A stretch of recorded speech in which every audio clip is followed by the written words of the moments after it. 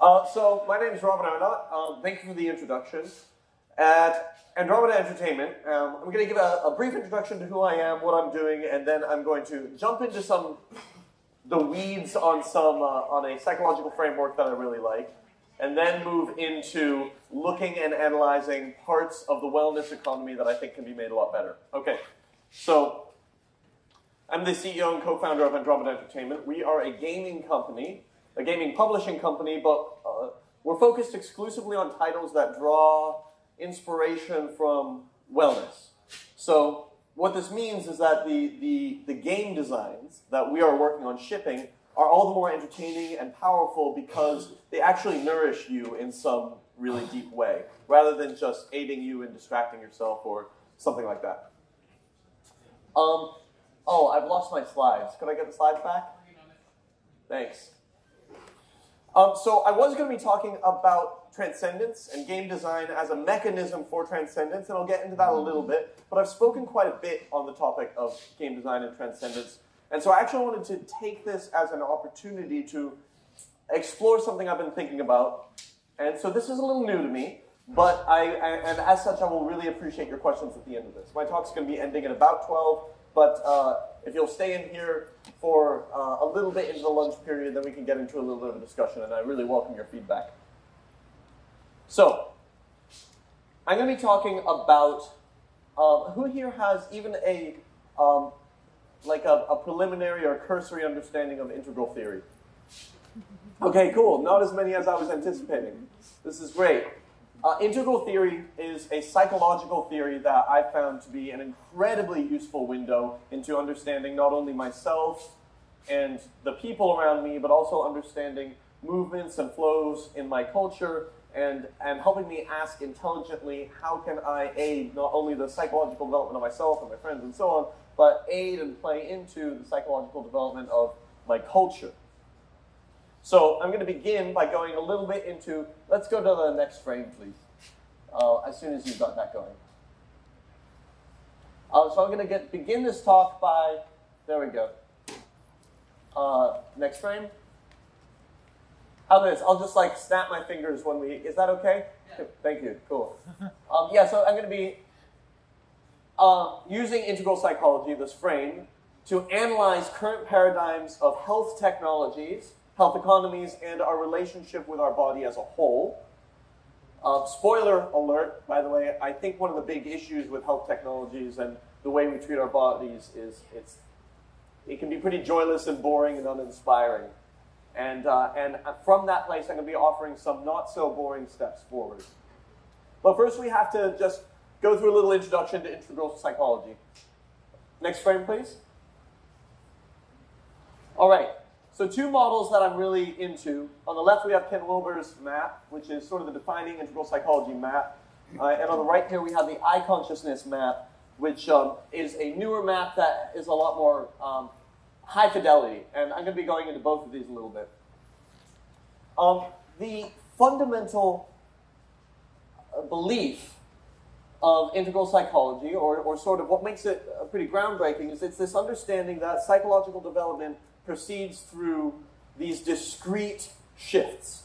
So it's not that you fade from one stage of psychological development to another stage of psychological development. It's actually that your whole frame of looking at the world, once, once all the pieces are in place for it, has a radical transformation. And so suddenly who you are doesn't look so much like who you were maybe a few months ago.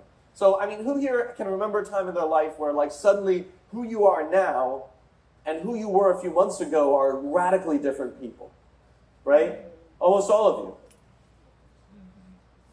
What was probably happening for you is that you gathered enough data in your life over the last you know, few years to create a new model of reality for yourself. And then your whole mind and your whole way of looking at the world underwent a transformation to update to that new reality. Now, the thing is, it's not a different path for everybody. We all go from one stage to the next to the next. So in childhood, you, everybody here was three years old at, old at some point, and when you were three years old, you were going through a, a stage of development called primary narcissism.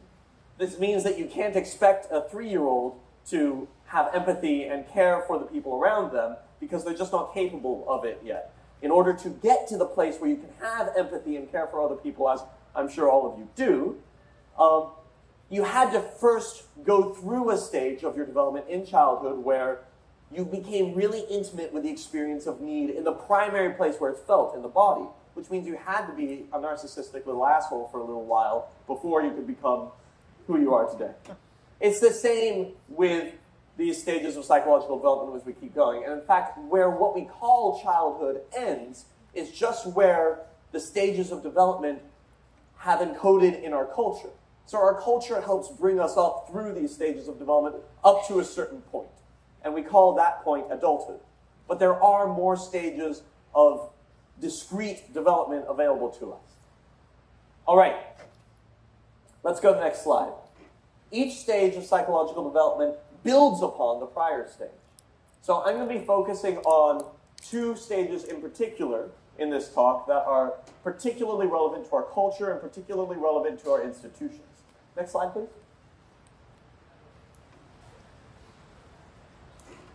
All right. So, um, excuse me while I catch up with myself here a minute.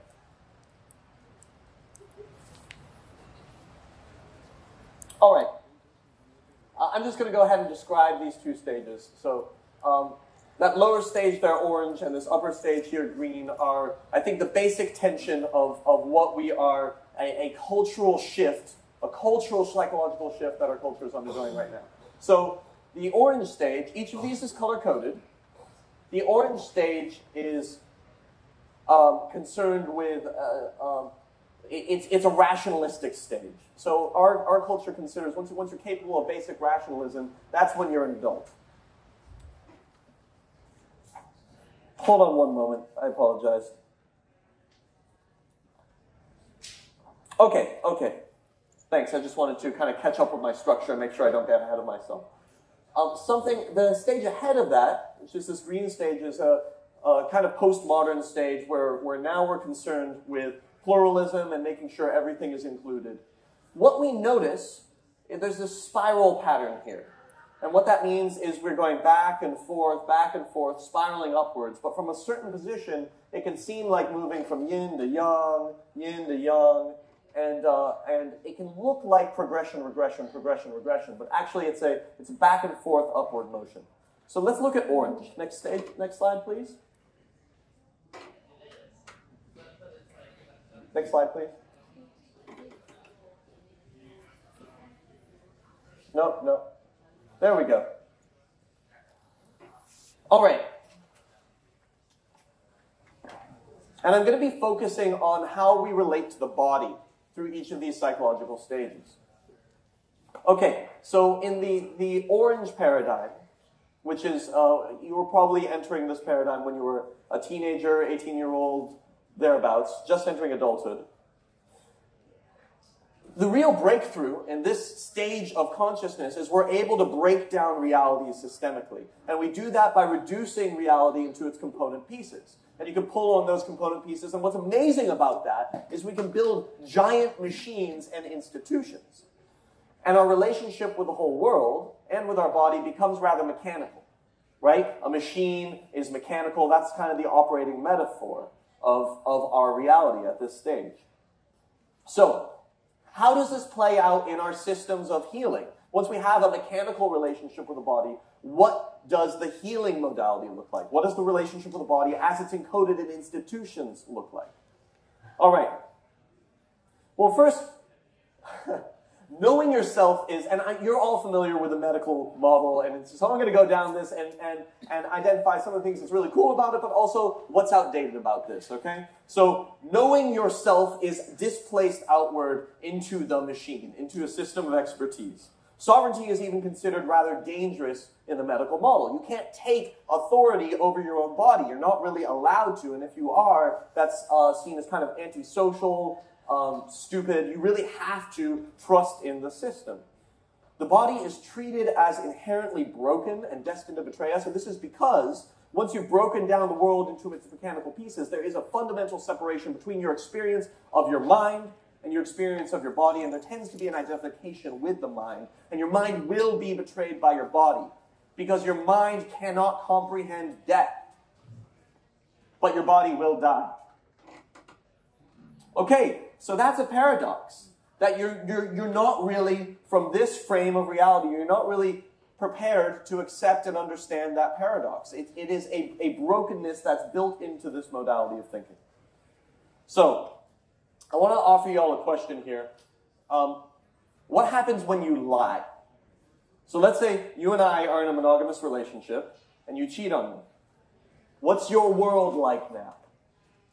And, and I, I, mean this, you know, um, like, like, please, as somebody pop up for me. Just think of a time. Yes, please. What's your world look like when you lie?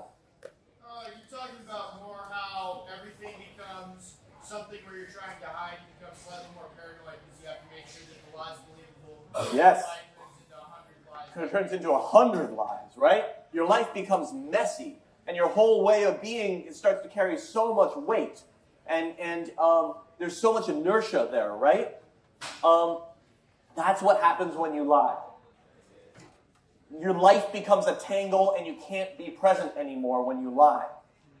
So, let's look at the medical model and what this looks like in our culture. Doctors are incentivized to overtest, overdiagnose, and overprescribe. Insurance companies are incentivized to overpromise and overcharge.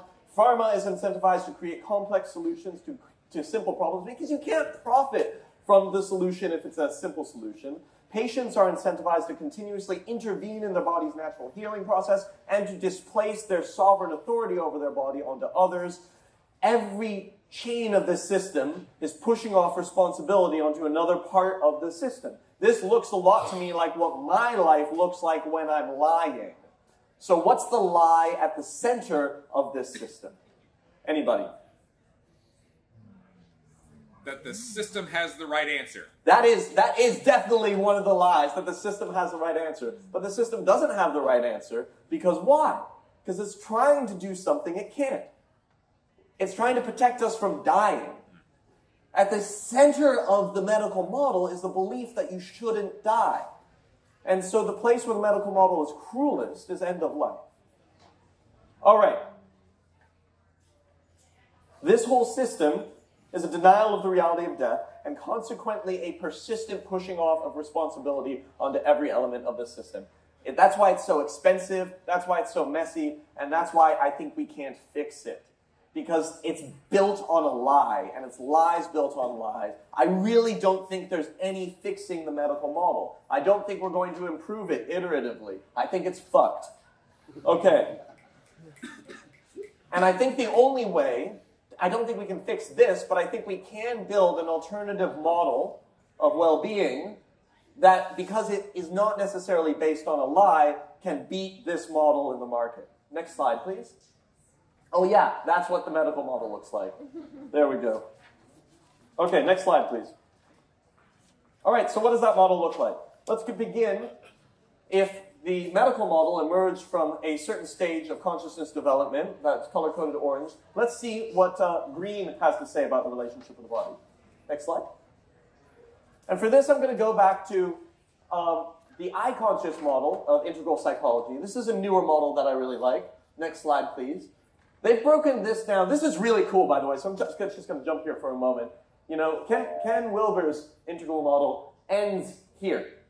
And these guys have outlined uh, what stages of psychological development all the way up to here. So this is orange, and this is green. So let's look at the next slide here and see what this model has to say about our relationship with the body at this stage of development. Next slide. So, the body, at the orange stage of the development, what we do is we try to micromanage my body for perceived gain. At the green stage of consciousness development, which is more concerned with pluralism and accepting all of the pieces and purging trauma, we're trying to seek harmony by purifying or manipulating the body. So, what does an economic model of well being look like from a green perspective? Next slide, please. All right. As I said, there's a back and forth with the spiral. Remember, the spiral looks like this, but if you're standing still or sitting still as you are, what that looks like is a back and forth. All right, so there's an inhalation, exhalation, expansion, contraction. The orange stage contracts the identity into the individual, which is why so much of liberal culture is concerned with individualism. The green stage expands the identity out into a, a pluralistic identity that tries to include everything. the achievement of orange is systematization. The achievement of green is um, accessibility in a lot of ways, because what green's trying to do is identify the, the, the things that are not met by the reductionist systematization. So give access to, for example, wellness to more people. And the relationship with, with the body goes from being a mechanical relationship to one where we're identifying toxicity and trauma and purging that and purifying. All right. So this is a, um, let's look at how this plays out. Let's look at what an alternative to the medical model can be. And, and that, that is, of course, the wellness model. Next page, please. We have these kitschy brands that are like appealing directly to the consumer. So instead of, like, if you go to a doctor and get a pill, you have no idea who's profiting from what. You have no idea what the trail of money looks like. You don't know where the pill's coming from. You don't know the re- I mean, I mean, it's a big black box and it's designed to be a big black box. This is a big improvement. Through nutrition, through meditation, through yoga, through exercise, and so on, we're kind of taught to take care of our bodies, and we're, we, we're given an opportunity to at least have a direct relationship with some kind of cutesy, kitschy brands. So that's nice. But, okay, I'm not really here to pat anyone on the back. And while that's nice, it, it's still not, it's still kind of broken. And it's inherited some of the brokenness of the previous models, but uh, it has some elements of brokenness. I mean, look, this is less of a lie, which is why these institutions are less convoluted and messy. It's not built on the you do not have to die lie. So I'm going to look at one of these brands in particular. Next page, please. This is Headspace. Um, and they're easy to poke fun at because they're a really uh, benevolent company that's doing a lot of good work. So I don't think anyone's going to mind if I try to knock their feet out from under them a little bit. Um, I was seeing ads like this on Facebook uh, around the time of the new year. Do y'all remember ads like this for Headspace? No? A few of you. What is this ad doing? And, you know, it's cute, it's appealing, it's friendly, it's not a big black box like the medical model, but it's not appealing to the part of you that's that's proud and joyful to be alive. You know? It's appealing to your inner parent, which believes there's something that you need to do to get better. There's a quality of shoulding in this advertisement, which is particularly ironic for a brand that is teaching meditation. Um, in my exploration of wellness spaces, and wellness spaces are full of meditation technologies because meditation is, is like a huge thing that our cultural body needs right now. Um, this quality of shoulding is utterly ubiquitous. So, what's the lie? The lie in the medical model is you don't have to die. What's the lie in this model? Anyone? You're not mindful enough. You're not mindful enough. That's good. That's it. You're not good enough. There's something wrong with you. That's the lie. You're a baby. Your baby, you need to be taken care of. That's good. That's good. All right. So if that's uh, Evan, go on. You're missing something. You're missing something. Good. Yes. All right. So if that's the lie of the wellness model, where do we go to from here? And I'm going to look again to integral psychology. Next page, please. So, oh yeah, next page. There we go. There's something wrong with it. Ne- yeah, where to next? Next page. We continue this breathing process. Thank you. As we go from orange to green to soul, at orange we contract into the individual. At green we expand into a pluralistic identity that tries to include everything. In teal, which is the next stage of psychological development, which uh, so best el- a- a- estimates right now have about 30 to 40 percent of American culture in green, about 30 percent in green. Most of our culture is in orange, which is why the institutions are so dominantly orange. And until recently, it's all been orange, you know. So so we, we gotta we gotta really you, you as much as I make fun of the medical model, we have to have compassion for it because we can't get to where we're going without going through the stages before. So the medical model really is a damn good model for doing a lot of good things, you know? Um, uh, it's, it's just easy to see how it's broken uh, or ways it can be improved from here. So contracted into the individual, expanded into a pluralistic identity. There's another contraction in this stage, and best estimates have about 3 to 4% of American culture in this stage right now. There's a contraction again into the soul. The achievement of this stage is integrating wisdom from all the different stages and integrating wisdom from stillness and silence. So there's a kind of preoccupation with meditation and listening to silence. And the relationship with the body, again from the I conscious model, they say outdated body patterns begin to dissolve. I prefer the word maladaptive to outdated. I think that better describes it. But we begin to see the body mind as an expression of truth. So sickness is no longer an enemy that has to be purged. Sickness is a, a friend or an ally. A, a, a um, you look to your sickness as, as, as, a friend that teaches you where you need to go next. So let's say I, I, I get a back pain sometimes. And uh, when I'm feeling, you know, like grumpy about it, then I want to purge my back pain. But when I'm feeling ready to meet my back pain, that friend that is my back pain, it teaches me something about my posture. It teaches me something about my habits. It teaches me some way to grow and expand and continue on my own evolutionary development. It's the same with, with any kind of sickness. Next page. So, I think what the next economy of well-being looks like is one that does not, you know, say there's something wrong with you here. It's one that is focused on joy and transformation, purely for the joy of transformation. Transformation is a joyful process. So what can we do differently? Instead of appealing to the parent, the inner parent, we can appeal to the inner child. We can appeal to our in, innate sense of joy. So some great places that I think we, like one of the great things, this is the Body Hacks Conference, there's a lot of body modification here. There's something really cool about that, you know? It's kind of taboo in our culture to relate to the body in a way that takes sovereignty over the body, right? You're meant to relate to the body in a way that fixes it of all the broken ways it's broken. But, and it's kind of taboo to, to just take authorship over it and say, this body is mine, I'm going to let it be a raw expression of whatever I want it to be, right? So I think there's of the, there are some existing models, economic models, that, that the well-being and wellness models can borrow from to find new wisdom. Body modification is one of them. The temple and spirituality is another one. Medicine ceremonies are another one. But there's one that's kind of, might be kind of surprising because it's so embedded in our economy everywhere, is the entertainment economy.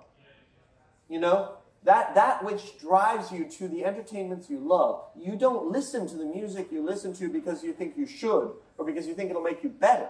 You do because you're mysteriously driven by some joy and recognition in the music. And who here feels like they've been changed and transformed by the art they've exposed themselves to? Right? Right. Who here feels like they've been changed and transformed by a pill they've taken? Right. I, I, imagine there would be a few people, right? I, I, and so I don't mean that diminutively at all because, like, medical, yeah, like I have. But joy is so much more powerful. So, what are the entertainment industries doing right? They, I mean, they're doing some things horribly, horribly, horribly wrong. But um, people are drawn to entertainments out of a raw sense of joy. You, you go to a movie or a piece of music from you're just drawn to it and you're open to it. Because it doesn't have that should quality you, your soul is open to it. You let it into your, your body mind and it does its magic on you. So i remember the first time i saw the movie children of men which was my favorite movie for a while. Anybody remember that movie? Yeah that i when that movie ended my jaw was just but seeing that movie helped me touch something in myself that i'd never seen or felt before and i got to that movie is about um, birth, but it's about birth from a male frame. And, and through watching that movie, I got to feel the part of myself that needed to grieve for the fact that as having a male body, I'm never going to have the intimacy with a child that a mother can have. And that movie helped me grieve that, and in that grief, helped me come more into alignment with body and love my body more. So, when we approach entertainments, because we're not asking our entertainments to fix us, we're, we're more open to them, and they can help us more. Mikey Siegel, um, let's go to the next page, uh, who some of you may have seen speak yesterday, I think. Um, very, very, very smart person. He and I had a conversation on Friday um, about this. And what he said, which was really interesting to me, is that we're talking about unbiased feedback loops versus biased feedback loops. A biased feedback loop is one that tries to get you somewhere, and an unbiased feedback loop is one that shows you what's here already and allows the wisdom of your body and your soul to do its natural work. So there's a little QR code there if anybody would like to um, see that. Somebody's head is blocking that, if you wouldn't mind. If you could scoot forward just a little bit so that the QR code will work. Thank you.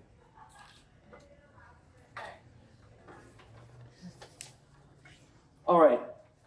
So art, when it's channeled, art when it's not channeled is awful. Okay. So there's some really bad art out there. But but art when it's channeled is divine, it's healing, it comes it works in a mysterious way.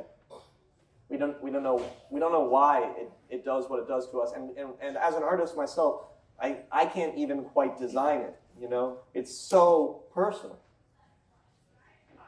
But there's something at play here that that transcends the logical mind.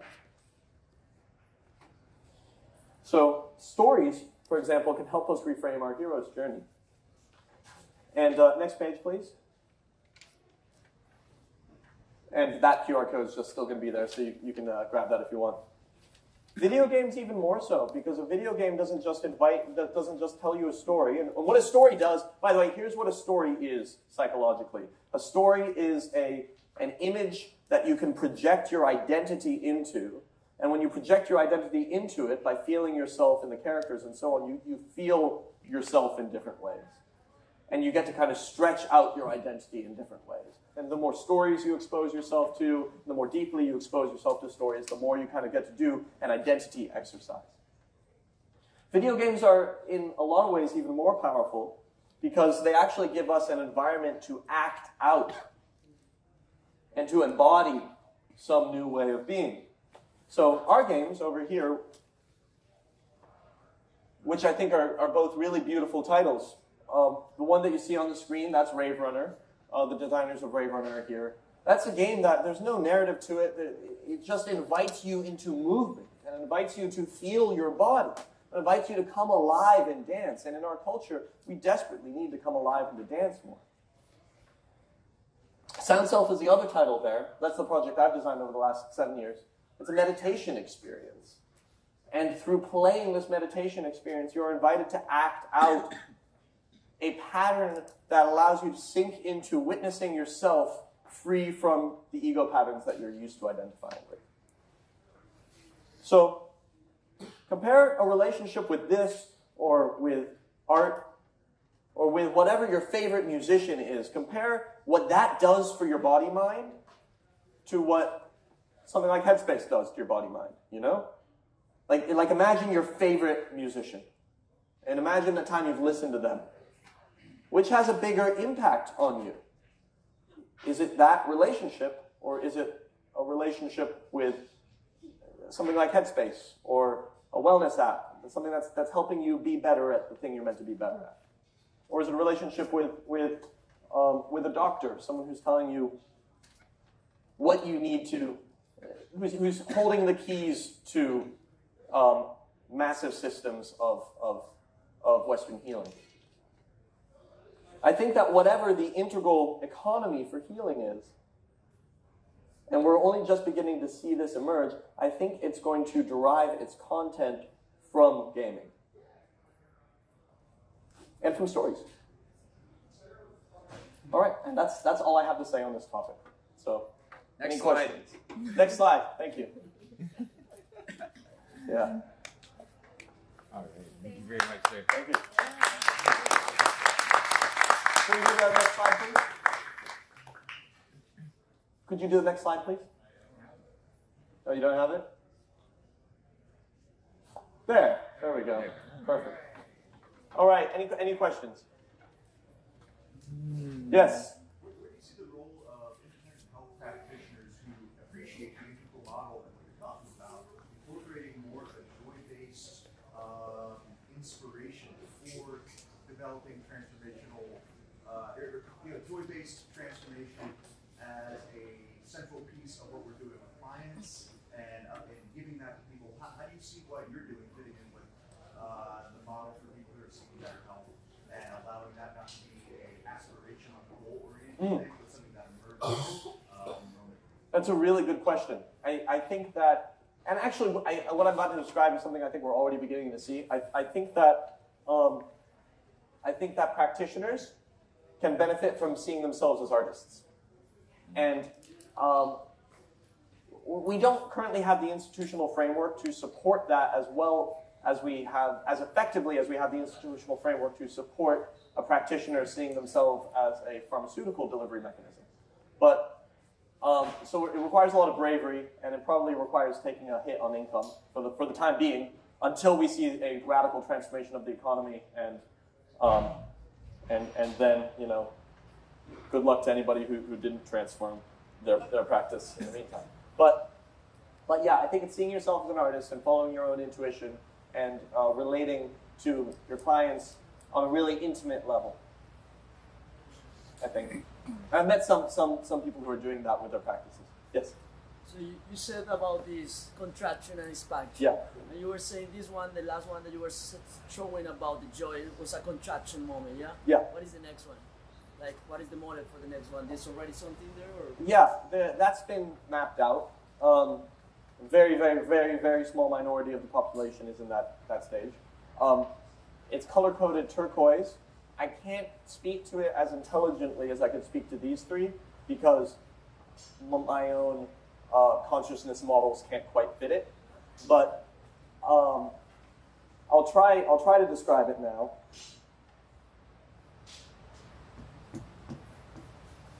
Um, and there's a release of identity and um, a kind of surrender into the uh, more of a surrender into the God mind.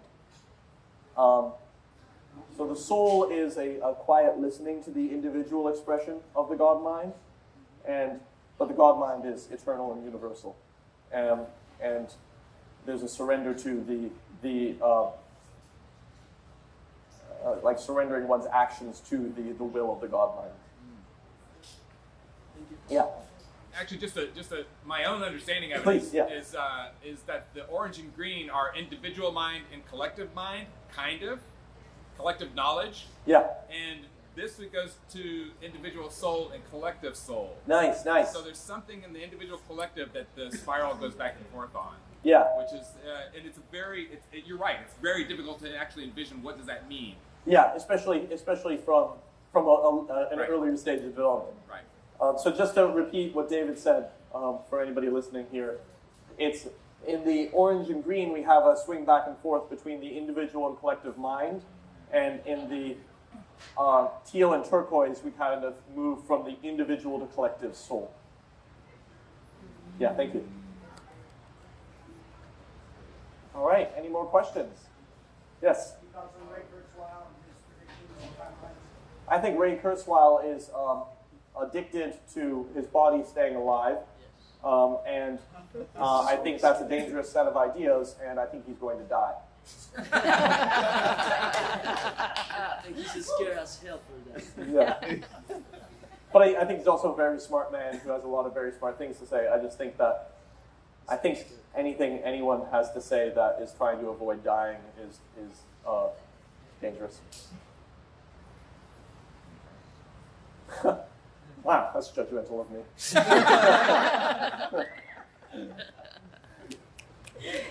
Good, thank you. Thank you very much. Enjoy your lunch. Enjoy your body hack. Peace.